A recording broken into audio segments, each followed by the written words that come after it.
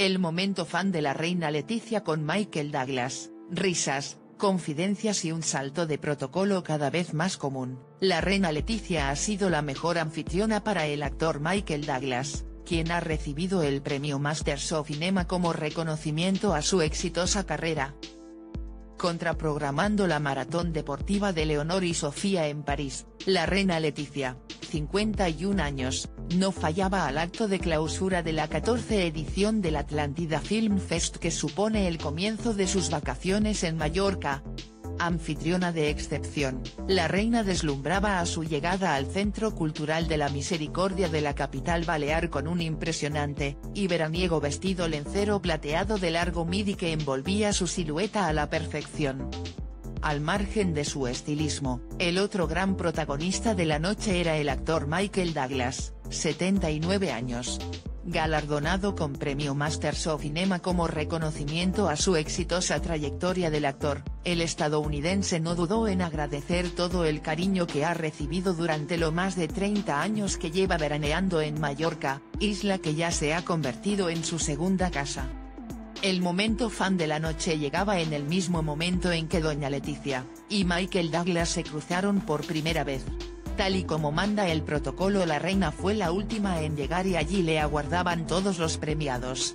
La mujer de Felipe VI se dirigió al popular actor nada más verle, y le estrechó la mano con energía al tiempo que intercambiaban algunas confidencias, la cara de la reina hablaba por sí sola sonriente, entusiasmada, y feliz de tener la oportunidad de conocer a una estrella de Hollywood como él. De hecho, en esa primera charla le dijo que después tendrían más tiempo para seguir hablando. Y así fue.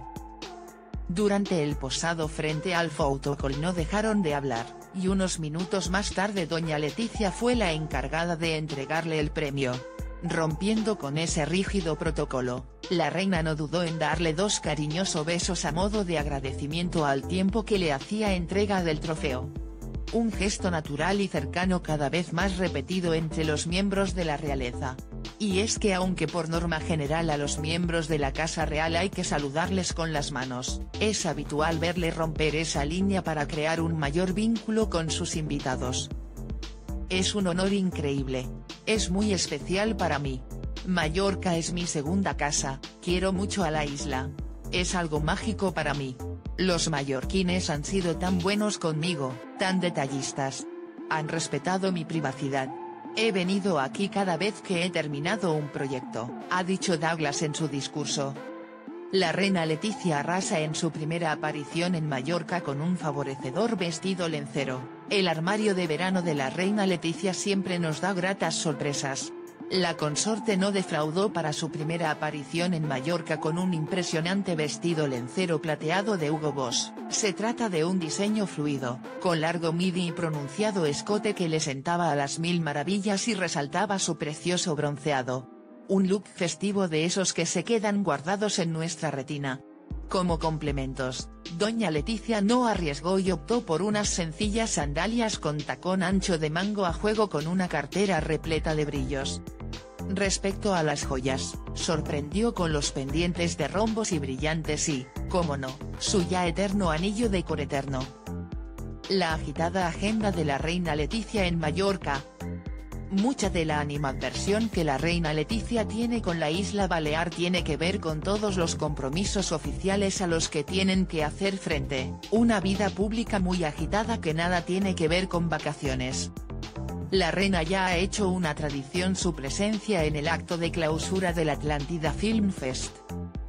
Tras esta cita cultura, será este lunes cuando don Felipe y doña Leticia, acompañados por la reina Sofía, presidan la recepción a los representantes de los distintos sectores e instituciones de la sociedad de las Islas Baleares en el Palacio de Marivent. Con Leonor y Sofía en los Juegos Olímpicos de París, falta por determinar el día y lugar en el que harán el tradicional posado de verano imágenes con las que cada año pretenden dar a conocer un rincón de Mallorca. Al margen de estas citas obligadas, no sería de extrañar que los reyes, y sus hijas se dejaran ver por las calles de la isla como una familia más. Salidas nocturnas, visitas a los icónicos rastrillos que tanto les gustan o, incluso, algún plan cultural que nos deje ver su faceta más natural.